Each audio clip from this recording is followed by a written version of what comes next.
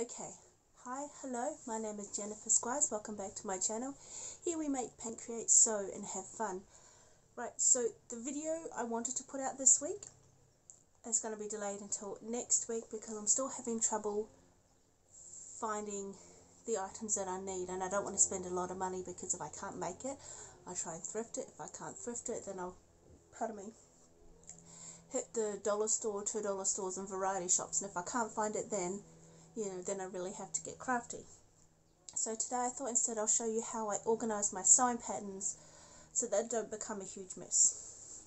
I used to keep my sewing patterns in one of those plastic storage tubs and every time I wanted to get one down and have a look through I'd root around and it would get messy, it would get unorganized, things would fall out of their assigned envelopes and I wouldn't know which pieces went with which. And something I've seen happen a lot recently in other sewers and maker channels that I watch is people will use a binder. So I've got my binder and what I do is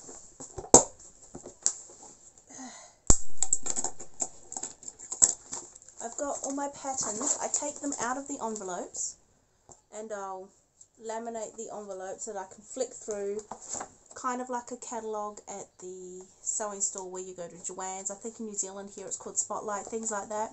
So I can flick through, have a look at what I want to do. I can read on the back of the envelope how much fabric is required, all of that. And then I can check my sewing stash and before I even pull out my pattern make sure I have everything I need and if I need to buy things I can just take this out of the folder, take it into the store with me and it's not going to rip. It's it's not going to be you know ruined. It's laminated. It's set like that. So I'm going to take you through because I went through story because I knew I had another truly Victorian pattern and I want to put it in my binder. So what I'm going to do is I'm going to show you how I organize this so that you know it's it's in the binder and the envelope is safe and all the pattern pieces are kept safe so let's do it.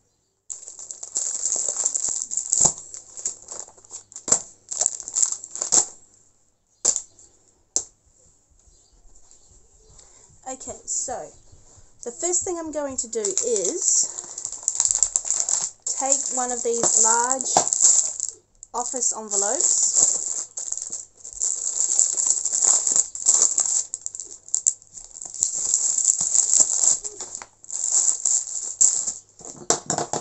I'm going to write in this corner what this um pattern is called. So we have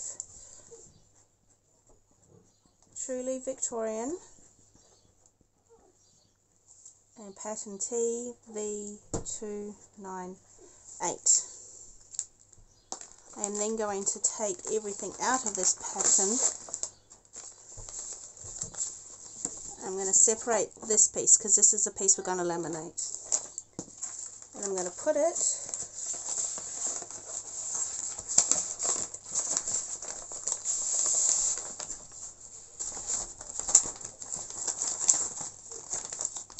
in my envelope and that's what gets put away with every other envelope. Now we are going to trim trim this down just a bit.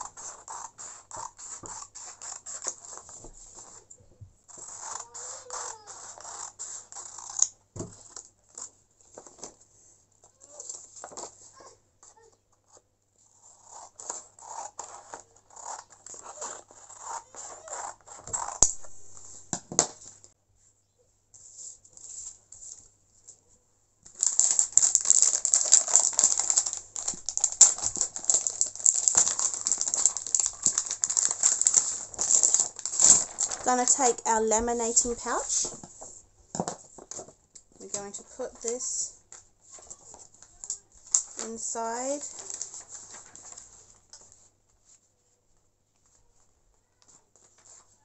Making sure there's a little bit more room on this side than this side because this is where the punched holes will go to put it in the binder. Now I got my laminating pouches and my laminator from Kmart. They're relatively cheap and I run it through the laminator. Okay, so while it's running through the laminator, this is where I have all of my patterns. And I will just slot it in like that. And hopefully my collection will grow and then I can fill this section too. It's mostly just um you know empty sketchbooks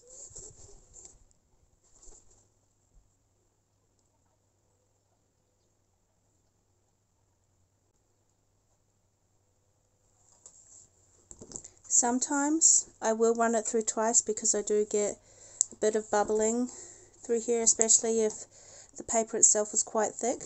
So I'm going to run this one through again. Bring that forward a bit so that when it comes out it's on the hard surface and not on a bendy surface.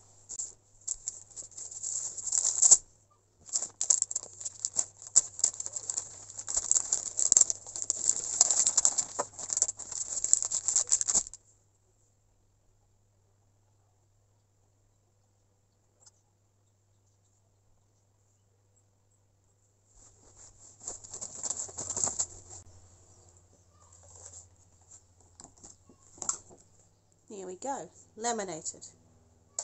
Turn the laminator off.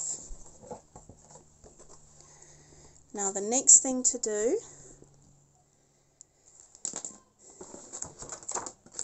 is to put it into the binder. So I'm going to take the hole punch, which I borrowed from my daughter. If I can get this in.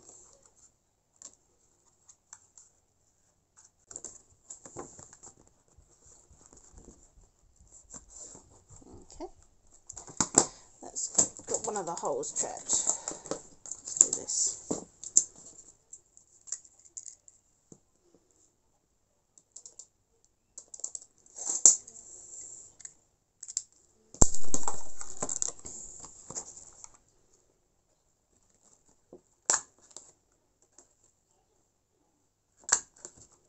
Here we go, holes punched.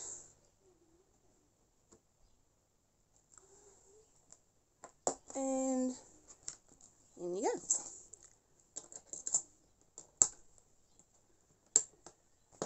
that is how I keep my sewing patterns organised.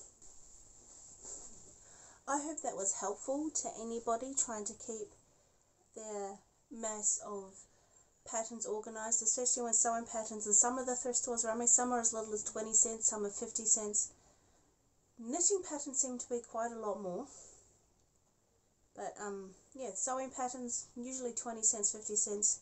Some of the patterns I do purchase new, but most of them are thrifted. So that, this is how I sort store and organize my sewing patterns. I hope you enjoyed that. I hope you found it helpful. Please like, comment, subscribe. You know, whatever you do is awesome and it'll help us please our algorithm overlords. And we'll see you in another video.